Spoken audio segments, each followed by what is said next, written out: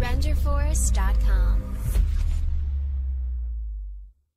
双城故事真实版，女监至上周嫁美国男友。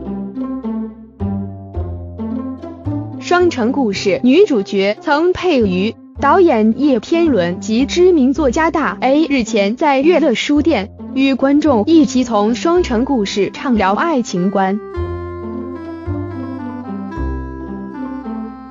台北与旧金山一万零三百八十二公里的距离，爱情能否横跨太平洋？曾佩瑜自曝，前一段感情就是分隔台北。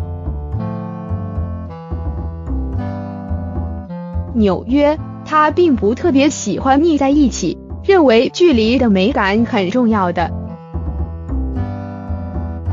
导演叶天伦透露，其实自己的妹妹，也就是《双城故事》监制，就上演真实版的《双城故事》。台湾女孩与旧金山男孩修成正果，上周才刚完婚。曾佩瑜也说。自己谈过台北、纽约十二小时时差的爱情，因为通讯软体发达，维系远距离感情已经不若以往艰难，反而增加爱情中距离的美感。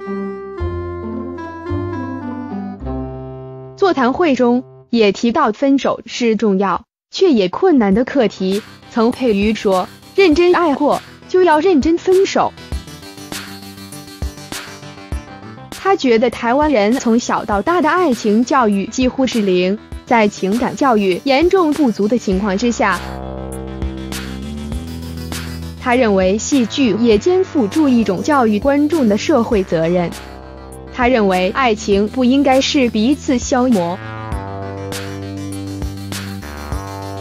放过彼此是一种必然，而分手前一定要先努力沟通，解决不了问题。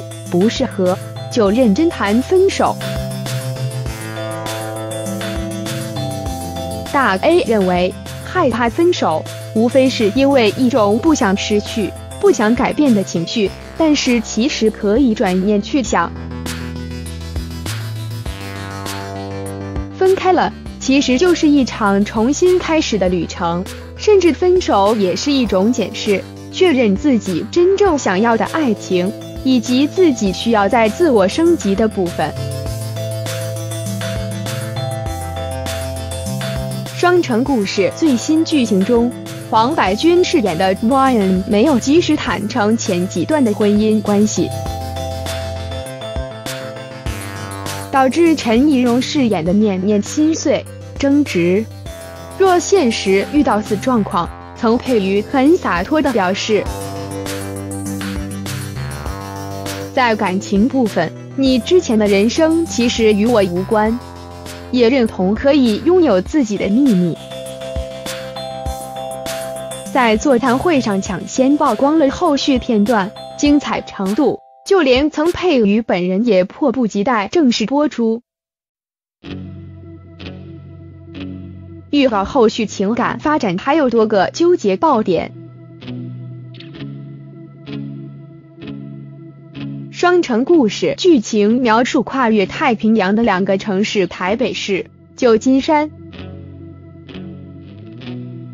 一个从没有远赴外地的台湾女孩到美国追爱，以及在美国出生长大的华裔女孩回台寻根的故事。透过两个城市诠释在地台湾以及海外华裔的不同视野。该剧已于公视、民视八大接力播出。My Video 为本土 OTT 平台独家跟播，成绩斐然，已被观众列为最新必追剧。